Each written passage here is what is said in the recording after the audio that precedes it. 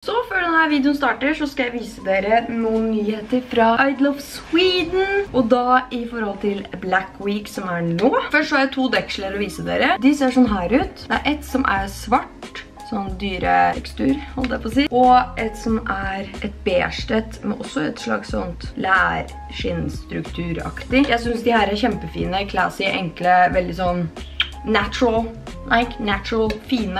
Så har de sånn sykt fint sånn pustestoff på innsida, sånn at den beskytter både mobil og alt. Neste er en super søt liten sånn veske til Airpodsa, som du kan henge på veska di igjen. Så den her får plass til Airpodsa dine, hvis du har lyst til å bare gjøre det litt mer sånn classy og være litt ekstra, egentlig. Den her kan henge perfekt på den her veska.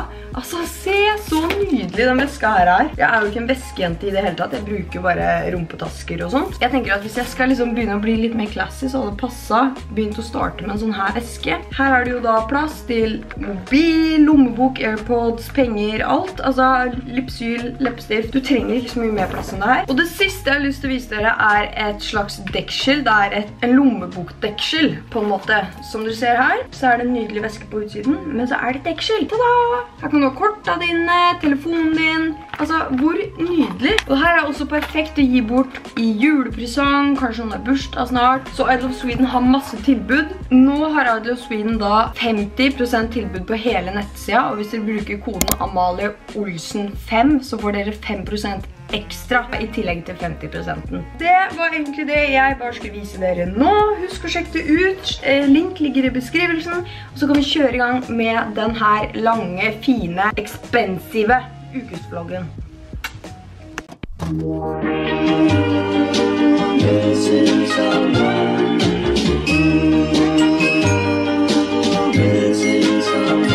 Missing someone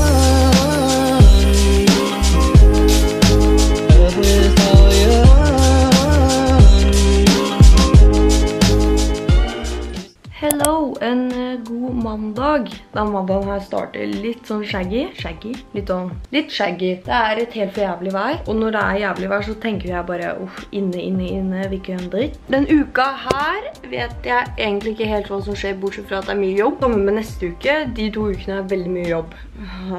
Det er snart desember, gleder meg veldig til, for da kan jeg endelig begynne med vlogmas, eller vlog week, eller whatever I'm gonna call it. Og i morgen så skal jeg til L Basics for å skrive kort og signere nye, signere det nye produktet som kommer nå i november. Så det er ikke lenge til. Jeg slipper noe nytt som jeg gleder meg veldig, veldig, veldig, veldig til. Så jeg håper dere liker det. Nå er klokka i hvert fall 12. Jeg vet ikke om jeg skal ha et møte om en halvtime. Jeg har ikke fått noe innbjudende. Hallo? Men i... Nå fikk vi besøk. Ja, så den vasken her er jo tett igjen. Jo, du hørte jo at det bobla. Nå har klokka blitt fire på ettermiddag. Jeg har egentlig kun rydda i leiligheten i dag. Rydda og vaska, det er det jeg har gjort. Og så har jeg kjøpt inn mat, liksom ukeshandla, liksom. Jeg trenger jo ikke så mye mat, det er jo bare meg her.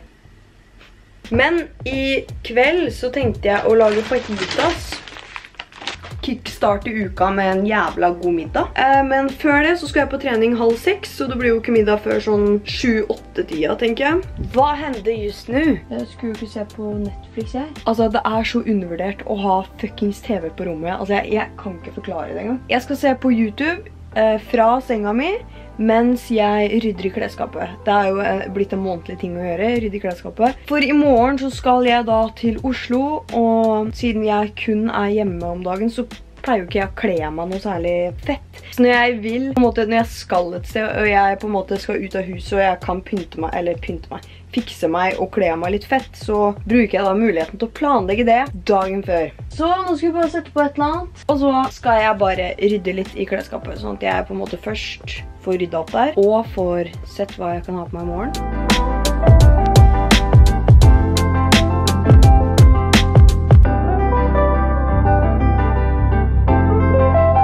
Nå har klokka blitt ni, cirka.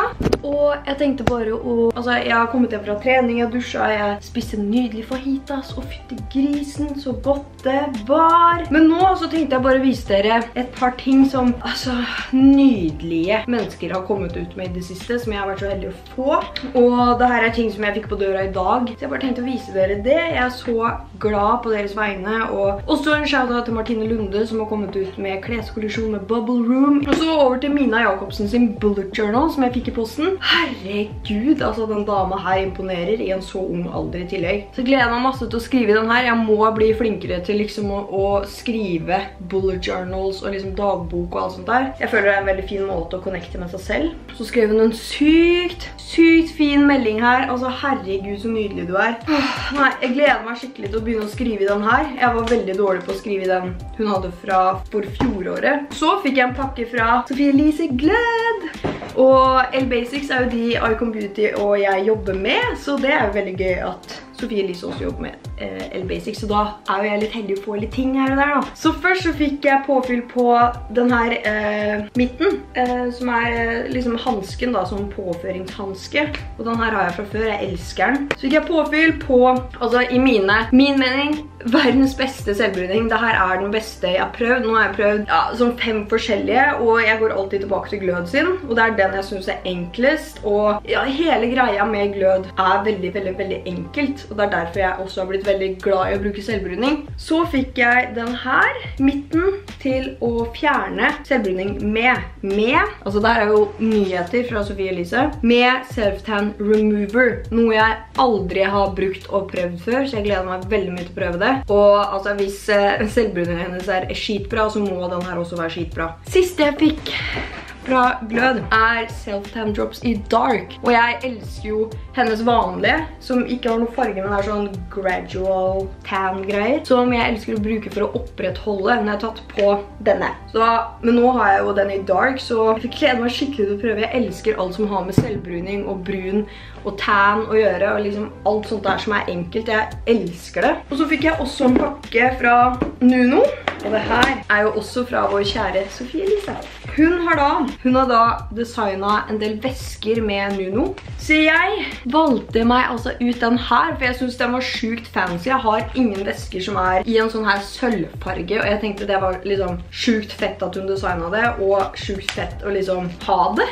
Og så oppi her så er det plass til korta dine og sånn. Så tusen takk! Wow! Bare tenk den her med en sånn dritfet, kanskje svart outfit. Så det var det jeg har fått eh, lev levert nå, i dag, egentlig. Um, så ja, og det er det jeg skal vlogge for i dag, så da tenker jeg vi bare ses i morgen. En ny dag, nye muligheter. Og...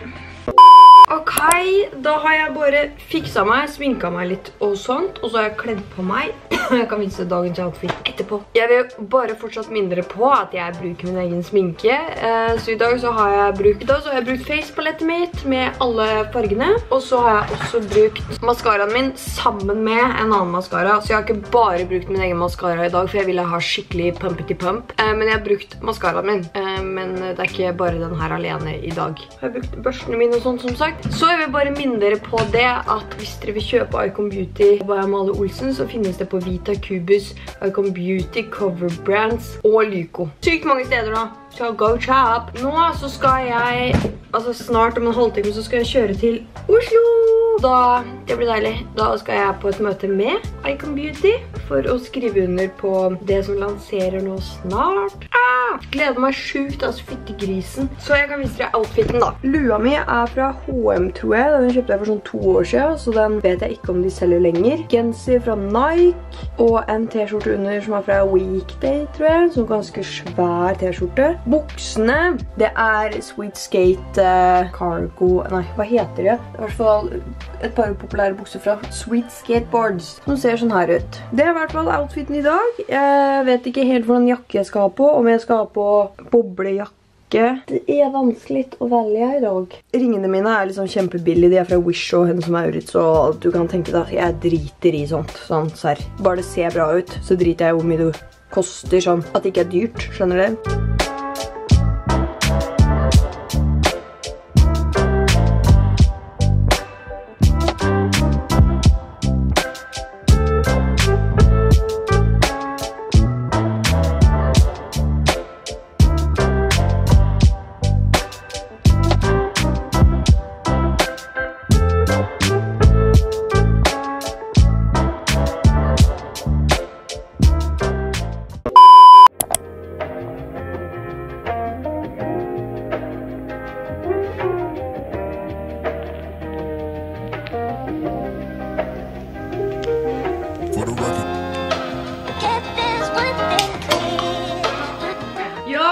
Dag er det torsdag.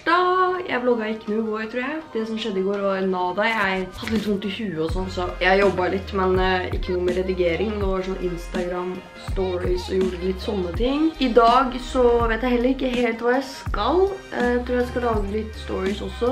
Jeg har veldig mye å gjøre neste uke, så jeg må liksom tenke litt hvordan jeg skal gjøre det. Jeg har laget ferdig to stories som skal ut neste uke. Klokka ni så droppes det Nike genser jeg har leit etter sjukt lenge, så jeg håper jeg får tak i den. Det er den her, så hvis jeg får tak i den, så kommer jeg til, altså da blir jeg så glad, for nå har jeg leit etter den i flere dager, jeg har lagt ut liksom annonser på at jeg leter etter den. Og så i morgen så er planen at jeg skal dra til Ikea Furuset, fordi de har et speil som jeg skal um, hente venninna mi, og så dra til Furuset, så jeg håper det går. Og så kjøpe litt oppbevaring og flere duftlys, for jeg trenger flere duftlys. Jeg bruker det opp så jævlig fort at det skulle ikke vært lov. Follow me! Ok, god mandag. I dag så er det mandag den 23. tror jeg. Og det som har skjedd i dag, klokka er nå to, og det som har skjedd i dag er det at jeg har vært eh, og kjøpt ny Mac. Så den her er gammel. Det blir trist, fordi jeg har samlet masse klistremerker på den. Og jeg har jo ikke hatt nett fra lørdagen av. Og nå har jeg endelig fått tilbake nettet mitt. Fy faen, altså.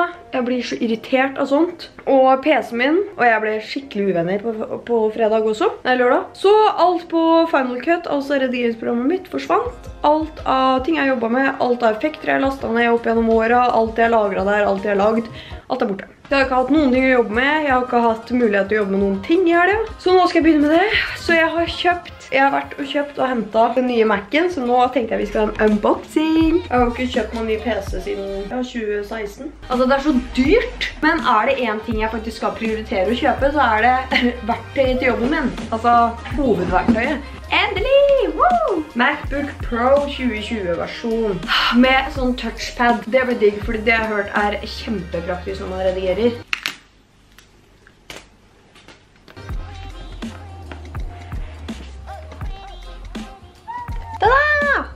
så deilig, så deilig, så deilig, så deilig.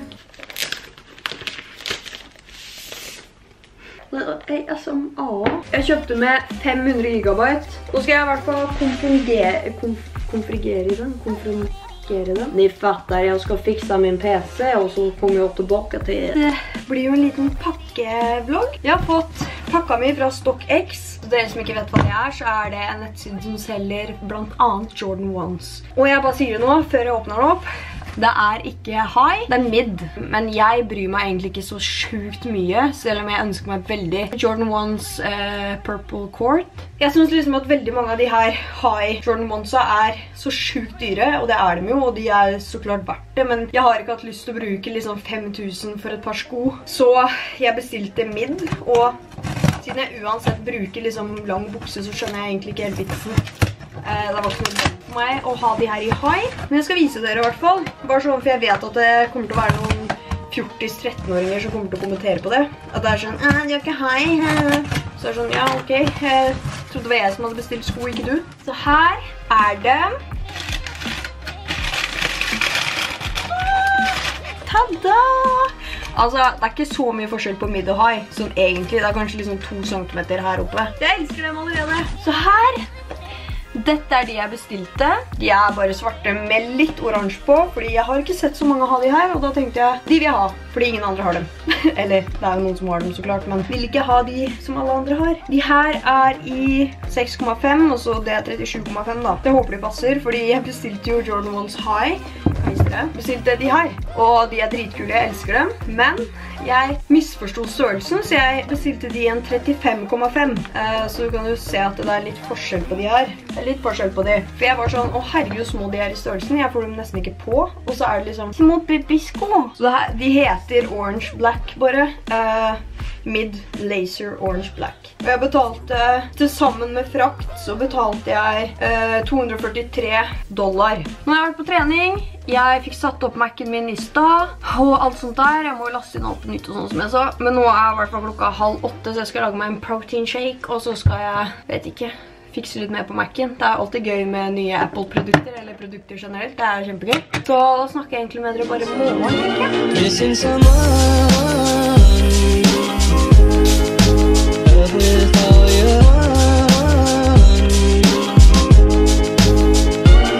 in some